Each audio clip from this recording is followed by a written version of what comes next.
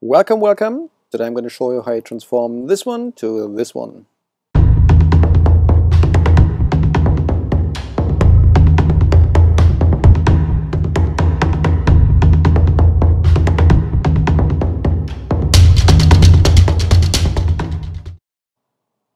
Welcome ladies and gentle peeps. I'm very happy to see today joining me, well, while I process my images. So, my name is Phillip and you can find me at Twitter at Let's Image and I'm gonna right, jump right into it.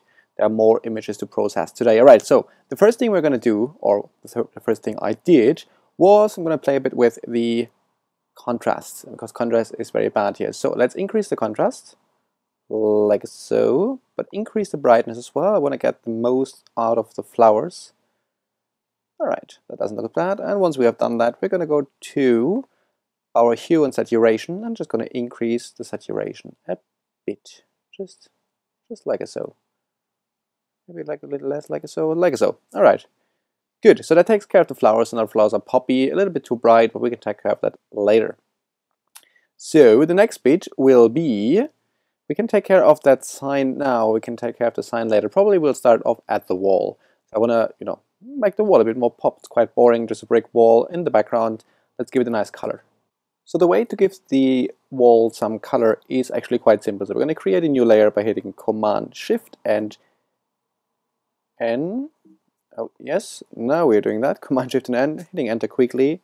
We're going to choose our paint bucket tool just here, I'm gonna choose a nice color, something like red, fill that layer, and change the blending mode here from normal to soft light. So it's gonna do that. There you go. So obviously that's a bit too strong, so we're gonna go down with the opacity a little. Actually, we can do it the other way around. I'm just gonna double click on that, and I'm, I say I just want this layer to be visible where the underlying layer is darker. Right, so I'm going to go a little bit like that, I guess so. All right, that looks not bad. And we can still go down with the opacity a tiny bit to something like this. Good. Now, To create a layer mask. Going to hit Command N to in. No, I won't. Do that. Don't do that. Command I to invert that layer mask. So now I have to use my brush tool. And wherever I brush, if that is black here, this layer mask, wherever I brush, the layer mask will appear probably should use an opacity of 100% and just brush that through.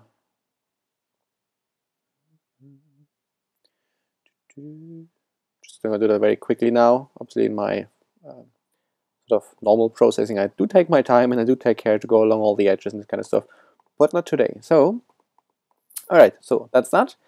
And uh, the next thing I want to do is I want to make the whole thing like dark. I want to have the feeling that the darkness is creeping in from the sides and that this tiny little shop is the only light source in the image. So what I'm going to do is I'm just going to go quickly to curves and I'll just take brightness away. As simple as that. I'm going to do it quite extreme. That is of course not necessary, but something like that. What I will do now is I will hit Command and I. So again, I'm going to hide that stuff and wherever I brush through with my brush now, opacity at 50%, I'm going to make it dark. For instance, here, corners, up here, up here, I want complete darkness actually anyway. Right. So, that's not bad. Okay, let's make it a bit darker on top here. A lot more darker over there. All right, let's get these corners darkened up a bit, and here as well. Actually, might as well get that all dark. Okay.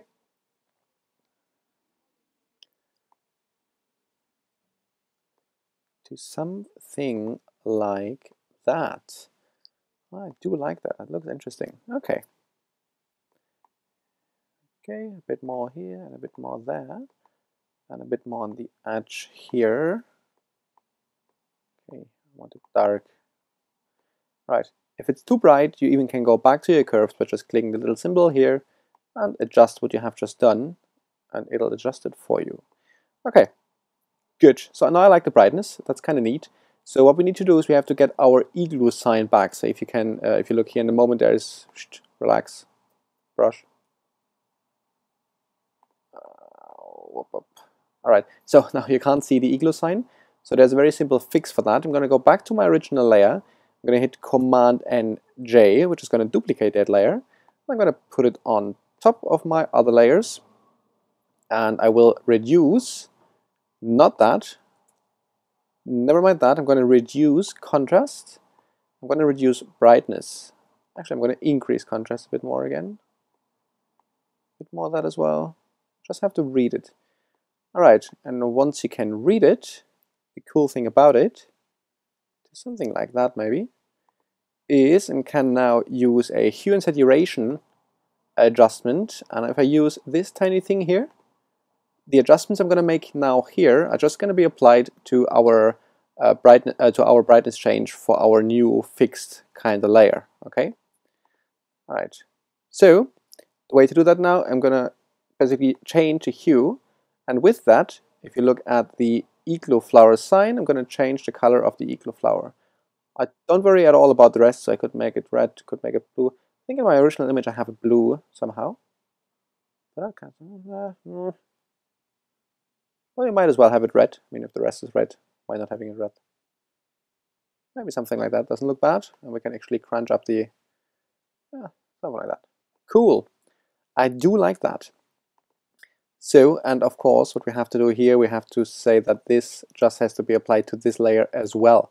So what I can do now, I can create a layer mask by hitting here, layer mask symbol, and then hit Command and I to invert that layer mask. So now we have our other image back. And if I now choose my brush by hitting B, and for instance an opacity of 50%, I can even make my brush a tiny bit smaller, maybe something like that.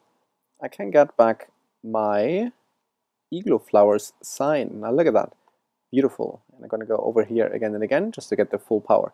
So now obviously, you know, that color can be chosen after your liking. But uh, yeah, actually the red doesn't look bad in that background. Alright, that's not bad. So now let's get the flowers and the lighting fixed in the foreground a bit and then add some grunge to the wall, I'd say.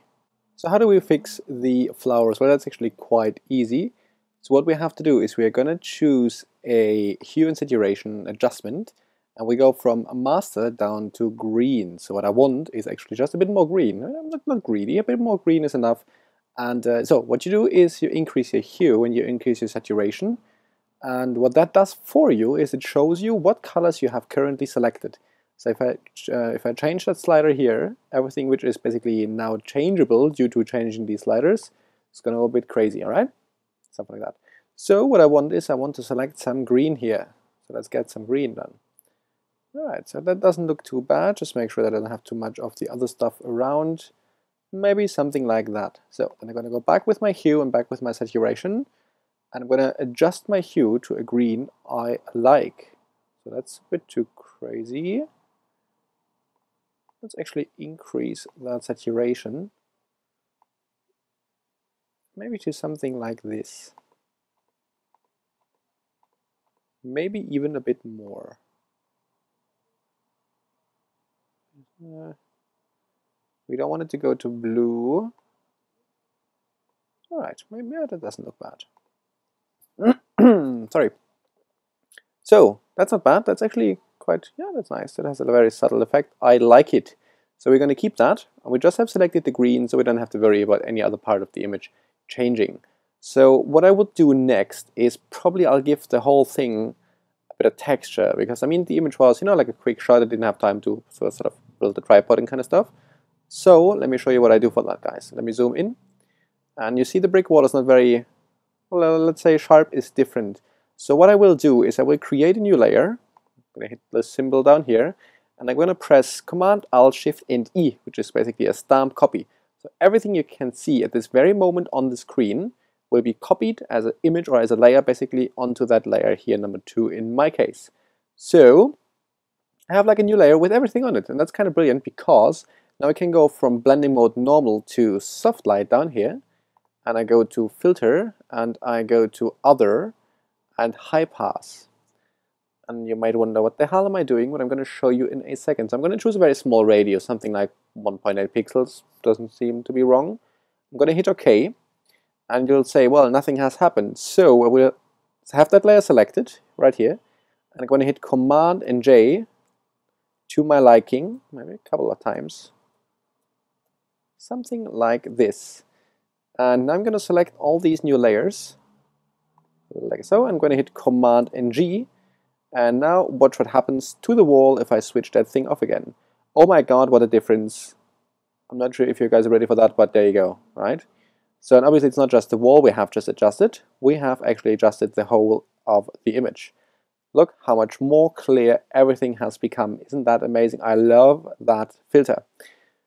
Alright, and actually I do like the effect even in the plants, and I think in the original image I put it in the plants as well, so I'm going to leave it there. I mean, you know, stop me.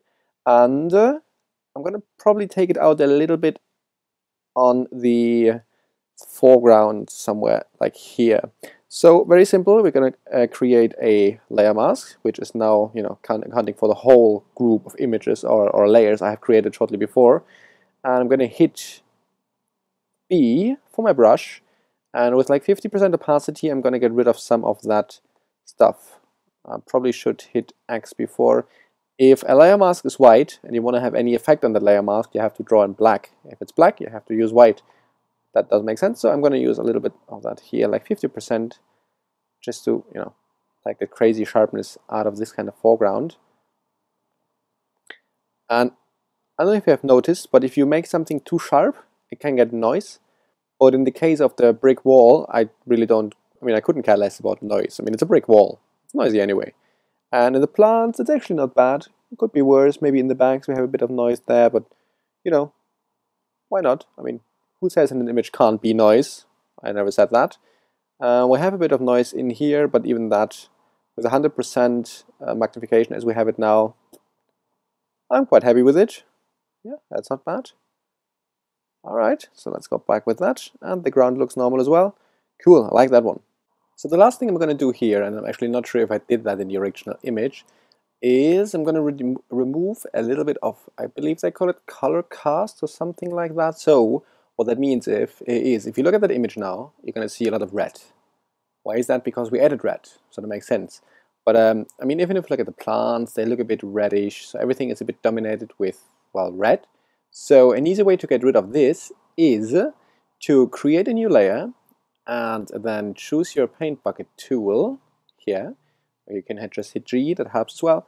And if you hold Alt and choose a color, like here, you can fill the new layer with this particular color and if you hit command and I it's going to give you the exact opposite of that color now if you go from blending mode normal to soft light you see what happens the red has been massively reduced in the image uh, image I mean red not so red red not so red extremely red not so red so what you can do now I don't want the uh, I don't want it to eliminate the red everywhere so I just want to you know reduce it here and there so I'm going to create you may be surprised the layer mask. I'm going to hit B to get my brush.